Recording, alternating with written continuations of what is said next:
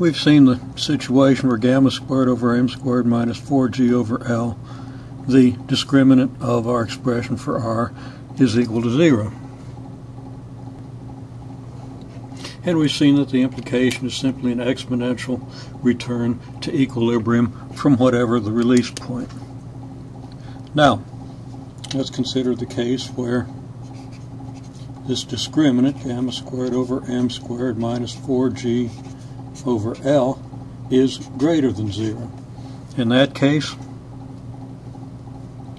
the square root of this term I won't read it to you as I write it, uh, is greater than 0. So that our solution for r, which is negative gamma over 2m plus or minus, uh,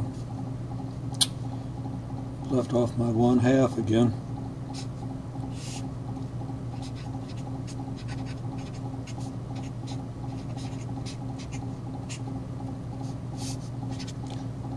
Okay, I'll just put it over 2. Um,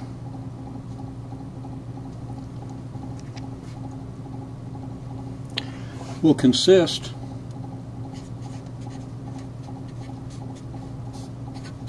of two negative solutions. Now how do I know that both of those solutions are negative? I determine that simply by looking at this term as opposed to this term. If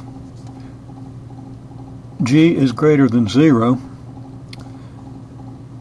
what we have under the radical is going to be less than gamma squared over m squared, which means that the square root is going to be less than gamma over m. Now we have a 1 half uh, times this square root. If the square root is less than gamma over m, then uh, your negative gamma over 2m plus that square root is still going to be negative because this term is going to be less than this term. And of course, if we use the negative, uh, r is certainly going to be a negative number. So, we determine that r consists of two negative solutions both of which are going to be decaying exponentials.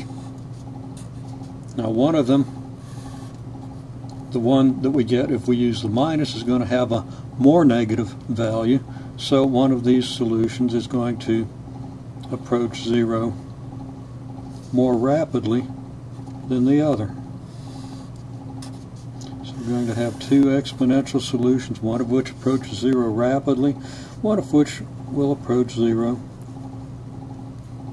less rapidly.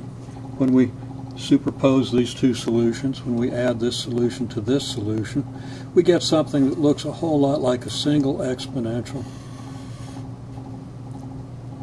But it's really going to begin to decline more rapidly according to this, and then the decline is going to be more gradual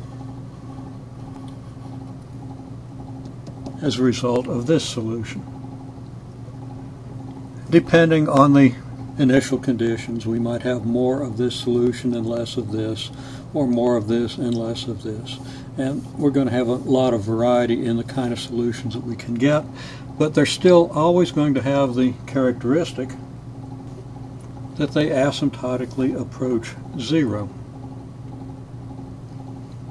We'll see more of this later, but I'll also comment that uh, uh, these solutions don't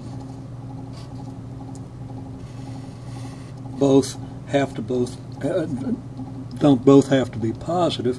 So it's possible that this one could be positive, this one could be negative, which could lead us to a solution of this form. Now this type of solution would consist of a pendulum which approaches the equilibrium position in much the same way as our last example A pendulum is released and simply approaches equilibrium from one side. But it's also possible that the pendulum could overshoot the equilibrium and then exponentially slide back toward the equilibrium position.